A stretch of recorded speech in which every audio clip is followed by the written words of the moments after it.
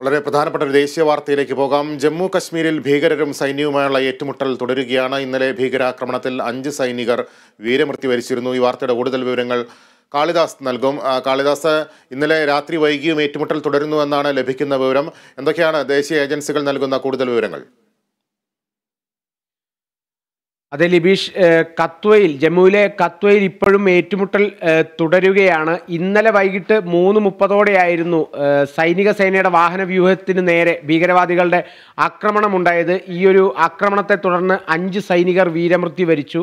അതുപോലെ തന്നെ നാല് സൈനികരെ ഇടയിൽ തന്നെ പരിക്കേറ്റ് ആശുപത്രിയിൽ എത്തിച്ചിട്ടുണ്ട്. ഇവരുടെ ആരോഗ്യനില സുരക്ഷിതമാണ് എന്നാണ് സൈനിക വൃത്തങ്ങൾ സൂചിപ്പിക്കുന്നത്.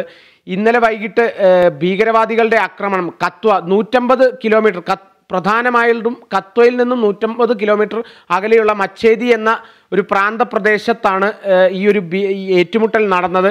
ഇന്നലെ ഭീകരവാദികളുടെ ആക്രമണം ഈ ഒരു ഏരിയയിൽ കൂടുതലായി കൂടുതലാണ് എന്നുള്ള വിവരത്തെ തുടർന്ന് ഒരു സ്ഥിരമായി നടക്കുന്ന ഒരു പെട്രോളിങ്ങിനിടെയാണ് ഇത്തരത്തിൽ ഒരു ഏറ്റുമുട്ടൽ ഉണ്ടായത്. ആദ്യം തന്നെ നേരെ ഇതിന് ഈ സൈനിക വാഹന വ്യൂഹത്തിന് മുൻ മുൻപിലുണ്ടായിരുന്ന വാഹനത്തിലേക്ക് ഗ്രനേഡ് എറിഞ്ഞ ശേഷം രണ്ട് ഭാഗത്തു നിന്നും തുരുതുരെ വെടിയുതിർക്കുകയായിരുന്നു.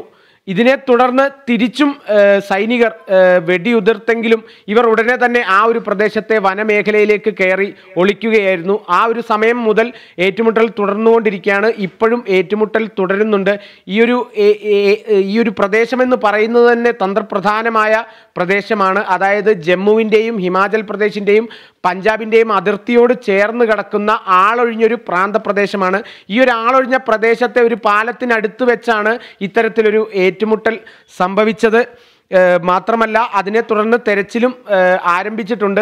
കൂടുതൽ സേന അംഗങ്ങളെ ഇങ്ങോട്ട് എത്തിച്ചു.